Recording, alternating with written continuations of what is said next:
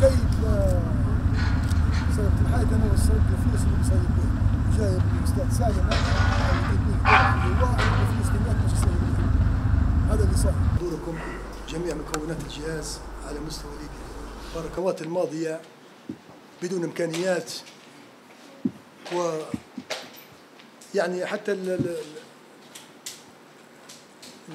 الإمكانيات اللي كانت توصل للجهاز يعني ما كانش يعني كنتم مظلومين السنوات الماضية بالكامل يعني هذا كلام لا غبار عليه يعني والمهنية والحنكة اللي عندكم أنتم كضباط اللي موجودين هنا يعني من من أحسن الضباط يعني في في جهاز مكافحة الهجرة. وبارك الله في حضوركم. بالنسبة لي أنا كرئيس جهاز بنتكلم معاكم كزميل وكأخ.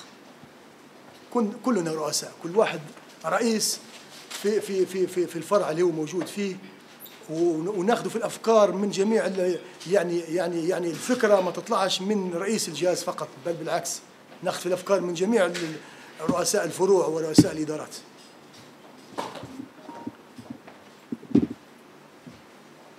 نحن جادين في العمل و و و و ونريد أن نشتغل بمهنية ون- ونريد هذا الجهاز من أفضل الأجهزة على مستوى ليبيا، نريدكم قدوة للأجهزة بالكامل.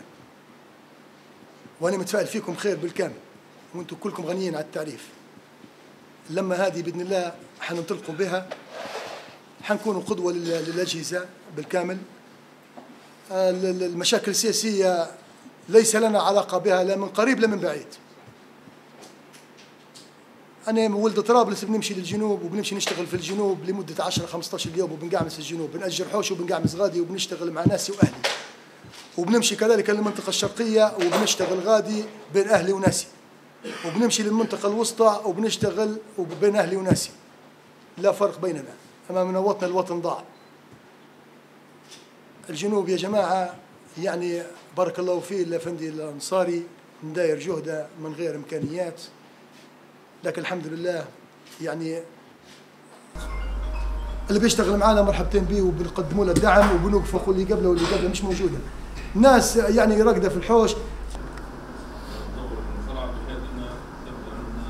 كلام يعني بنفعله وبنديره وبن إحنا بنخدمه على الأرض. لكن الحمد لله والله بمجهودات ذاتية وبخيره الضباط هم اللي موجودين. في عندنا من ضباط هنا في المنطقة الغربية بارك الله فيهم. بنفتحوا مراكز تدريب في الجنوب وفي